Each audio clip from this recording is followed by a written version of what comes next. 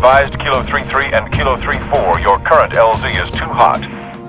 Roger that. Dot, stand by to receive. Yes, Commander.